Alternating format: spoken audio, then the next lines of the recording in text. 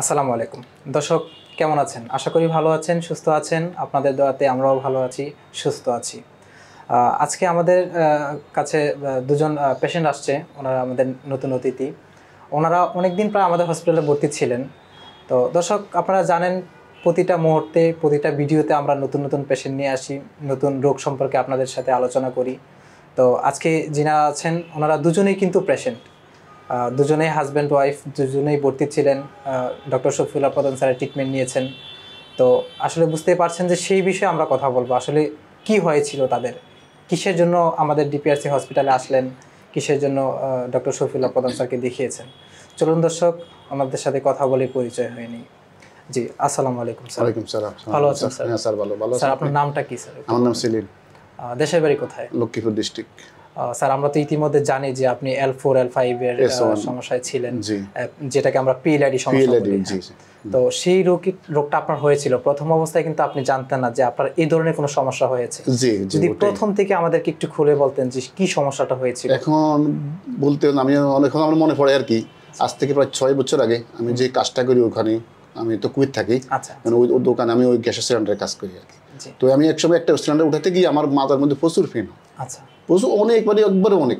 তার মানে মানে হঠাৎ করে আপনি ভারী কিছু আলগি দেওয়ার দেওয়া দেওয়াতে আমার এই অবস্থা তখন আমি বুঝতে পারছি যে আমার এটা হয়েছে তখন আমি ডিউটি ছাড়িয়ে রুমে চলে গেছি। যাই আমি পাশে হাসপাতাল আছে ওখানে গেছি ডক্টর দেখাইছি।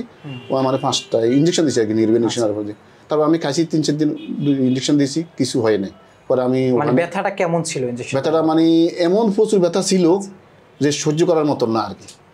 পরে ইঞ্জেকশন দিলে একটু কমে আবার বাড়ে। মানে এমন কি কোনো সিচুয়েশন হয়েছিল যে আপনি ব্যথার জন্য উঠতে পারতেছেন না হ্যাঁ ওটা হয়েছে। হ্যাঁ উঠতে পারতেছি না। আমি এক গ্লাস পানিও নিয়ে খাইতে পারতেন না। ওইটা মানে শক্তি পেতেন না? না। আচ্ছা। যে পাতির ডাক্তারটা ডাক্তারটা লইমু। আচ্ছা, তাও আমার ই ছিল না। মানে খুবই খারাপ অবস্থা খুবই। খারাপ ছিল হ্যাঁ। আচ্ছা তারপরে? আমি একটা প্রাইভেট হাসপাতালে গেছি একটা ইন্ডিয়ান ডাক্তারের কাছে। জি। ওখানে আমার সে দেখার দেখতে পরে ওখানেও সেই একই রকম ওষুধ দিছে আর বলতেছে আপনি রেস্টে থাকেন। কয়েকদিন সপ্তাহ দশ দিন রেস্টে থাকেন। এইগুলো দিছি এগুলো এইভাবে খাইবার ওষুধ।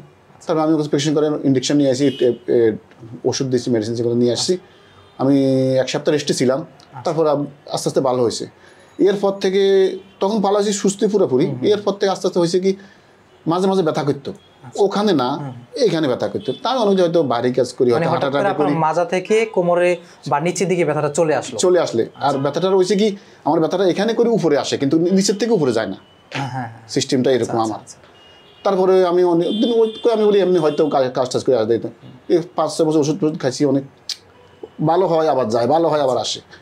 তো আমি এবার বাড়িতে মানে আহ, মূল কথা হচ্ছে আপনি ব্যথার ওষুধটা যতদিন খাচ্ছেন বা ওষুধ যতদিন চালাচ্ছেন ততদিন ভালো থাকছেন একটু ভালো থাকে আর যখন বন্ধ দিচ্ছেন আবার আবার শুরু হচ্ছে। হ্যাঁ। আচ্ছা। পরে আমি বাড়িতে আসি মার্চে লাস্ট আঠাশ তারিখে। তাই আমি এই ব্যথার কারণে আমি গেছি আমার এক ডাক্তারের কাছে গেছি উনি আমার দেখিয়ে দিলে বলছে এমআরআই করান। এমআরআই রিপোর্ট দিয়েছে কইছে L four L five S one আপনার ডিক্সের সমস্যা আছে। এমআরআই করলেন তখন বুঝতে পারলেন বুঝতে পারছি হ্যাঁ। তখন উনি আমার ওষুধ দিয়েছেন আমি বলছি স্যার আমার তো সময় নেই আমার ছুটি কম আমি চলে যাব। কয়েছে ওষুধ নিয়ে যান দুই মাসের? খেলে একটু কম না কাজটা যেভাবে দেখে শুনে করবেন। পরে আমি কি চলে গেছি দুই মাস থেকে চলে গেছি গেছি আর ওখানে ওখানে ডিউটি লাগছি আগা পরে ব্যথা বেশি বাড়ে গেছে একবার। আচ্ছা আচ্ছা। ডিউটি করতে পারি না পরে আমি ফোন দিছি যখন বাংলাদেশে আসলেন কতজন ডক্টর দেখিয়েছেন? দুইজনকে দেখাইছি আচ্ছা। আমাদের ওখানে।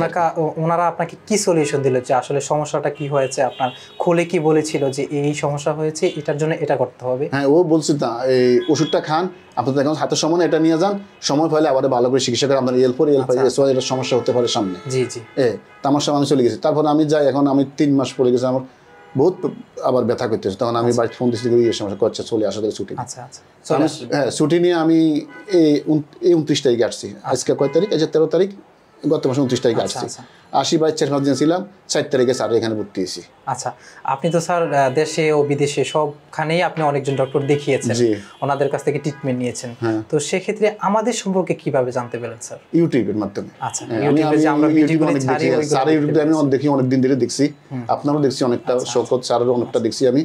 তখন আমার যে একটা যে আমি এখানে গেলে হয়তো আমার এটা হইতে পারে। কারণ আমি দেখছি মানে- অপারেশন বিহীন চিকিৎসা। হ্যাঁ হ্যাঁ। বহুত আমি দেখছি অনেক মানুষ চিকিৎসা হয়েছে এবং তার দেখছি আমি। আর আমাদের ওখানেও কুয়েতে থেকে একটা লোক আমার জানা আছে না ও বলছে আরেকটা লোক ফ্যাশন পাইছি আমি আমাদের কুয়েতে থাকে।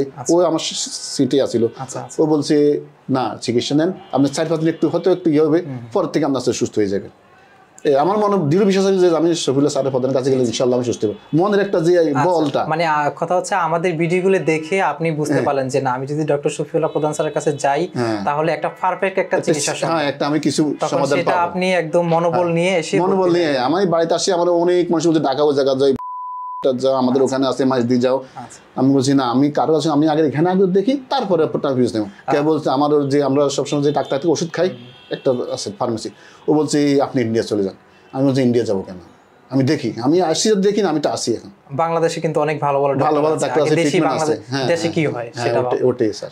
স্যার আপনি তো আমাদের ডক্টর শফিউল্লাহ প্রধান স্যারের কাছে আসছেন। আপনি স্যারের ট্রিটমেন্ট নিয়ে ভর্তি হয়ে অনেকটা দিন আছেন। আজকে কতদিন আজকে? আজকে আমার দ- দশমতম দিন শেষ হয়ে গেছে। আমি আগামীকালও আসি আমি। আগামীকালও যে ইয়ে নিব চিকিৎসা নিব। স্যার এই দশ দিনে স্যার আপনি কেমন মনে করছেন যে আপনার আগে যে দিনগুলা যেভাবে কাটাতে হতো চলাফেরায় সমস্যা হতো? চলাফেরা মানে দৈনন্দিন ইয়ে জীবনে কিন্তু অনেকটা প্রবলেমে পড়তে হয়েছে। আমাদের আমি তো আপনার যে হাসপাতাল আমি আগে বাড়িতে থাকতো আমি হাঁটি নিচে যেতে পারতাম না আপনার যে হাসপাতাল। সেই এক্সপিরিয়েন্স সেই ইয়া ইয়ে থেকে স্যার এখন কি অবস্থা আছে এটা একটু জানতে চাই। এখন চিকিৎসা করতে আমি দশ দিন চিকিৎসা নিচ্ছি আগামীকাল একদম আমার চিকিৎসা বাকি আমি স্যারের কাছে বলছি আমি নিচে গেছি।